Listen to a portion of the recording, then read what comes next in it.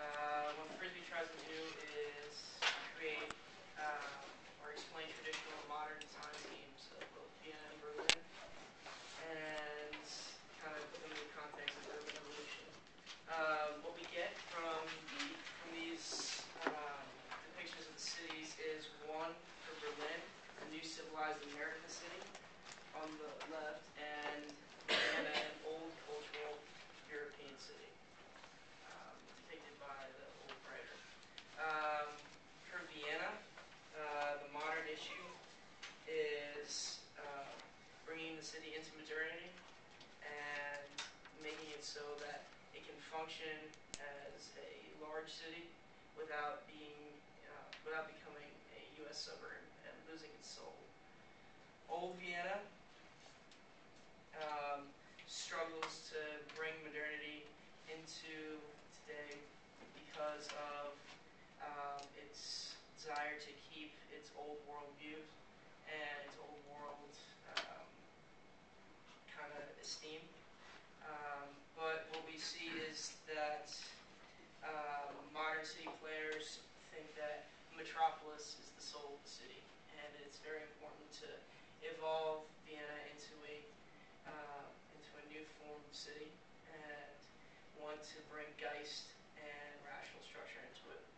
Uh, but what they encounter is capitalism and how capitalism can structure um, the way a city is shaped and how the economy can directly dictate how you run a city.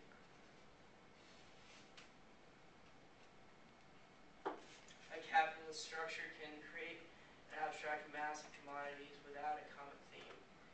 Um, this is very similar to the problems we face in America with strip malls and urban sprawl. And when circulation occurs without Geist, the German word for spirit, you can lose the city's soul and what makes it tick as a great city. So to this point, Berlin can be described as modern, can be American, it prides itself on civilization, lack of culture, and can be identified as male. As Vienna is a historical city identified with Europe, culture, even excess culture, and the female gender. Um, also, Berlin can be identified as artificial, mechanical, it's an unsurveyable mass, asphalt culture, parvenu, uh, modern new surface, spirit, and uh, Vienna is basically the opposite of those things. Uh, rapid expansion of both cities occurred um, in the late 19th century and forced planners to reconsider the way they structured these cities um, and the way in which they were going to uh, incorporate technological advances into the way they plan their cities. Technological advances begin to dictate the way we look at cities' function, maintaining production, circulation, and consumption, regulating greater metropolis becomes the center of a city's functionality and what really makes the city tick. Um, we can identify that with Berlin even more so than with Vienna. In the early 20th century, um, each city, Vienna and Berlin, held a urban design competition to restructure um, the city plan according to the population boom in each city.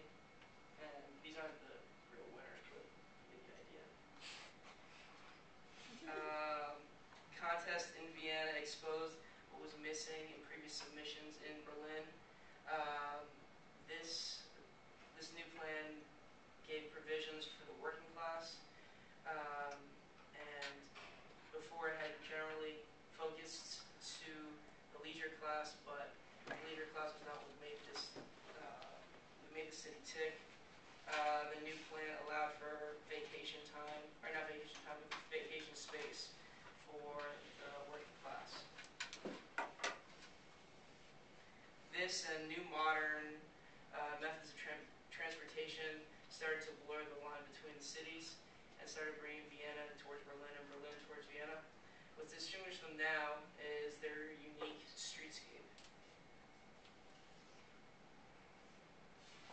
mentioned in the article, Mark Twain is cited as talking about the newness of Berlin and its seemingly lack of history.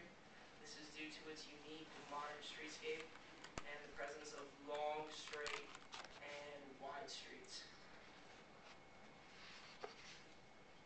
The streets of Berlin can be described as long, wide, with a definite straightness. Though it seemed to be a problem by it's considered to be a problem by many urban planners, Twain saw this as a positive in which he created an inspira- inspirational landscape for the people of Berlin uh, when going out at night, as you can see in the picture. Uh, Berlin's overall issue and journey uh, is to move forward and try to incorporate small detail into its foundation as a modern city. Simple designs, contrasting images, and deliberate um, de- de- deliberate highlighting of structures can be used to bring soul to the city. With each city trying to become one another, urban planners have the challenge of finding unique identity, identities for the cities in a modern setting. How do we make Vienna more functional and, and Berlin more beautiful? Um, and discussion questions, do form and function have to exist in a mutual, in mutual exclusivity, or can the perfect city be obtained? And can we find any examples? And in your opinion, what constitutes the ideal city? What was described in the article, or is it the addressing of a new unique need?